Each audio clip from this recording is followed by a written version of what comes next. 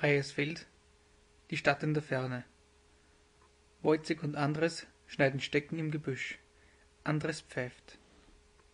Wojciech. Ja, Andres, der Platz ist verflucht.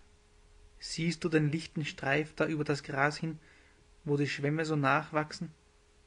Da rollt abends der Kopf. Es hob ihn einmal einer auf, er meint, es wär ein Igel. Drei Tag und drei Nächt. Er lag auf den Hobelspinnen.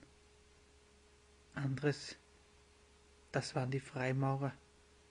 Ich hab's, die Freimaurer. Andres. Saßen dort zwei Hasen, fraßen ab das grüne, grüne Gras. Wojciech. Still.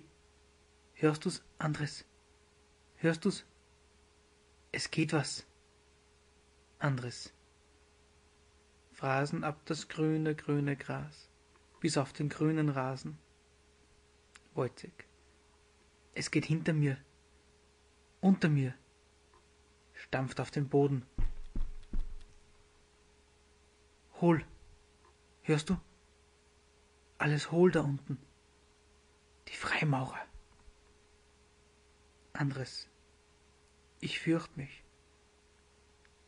Wojciech. Es ist so kurios still. Man möchte den Atem halten. Andres. Andres. Was? Wojciech. Red was. Andres. Wie hell. Über der Stadt ist alles Glut. Ein Feuer fährt um den Himmel und ein Getös herunter wie Posaunen, wie's heraufzieht. Fort! Sieh nicht hinter dich! Er reißt ihn ins Gebüsch. Andres. Wojciech. Hörst du's noch? Wojciech. Still. Alles still. Als wär die Welt tot. Andres. Hörst du? Sie trommeln drin. Wir müssen fort.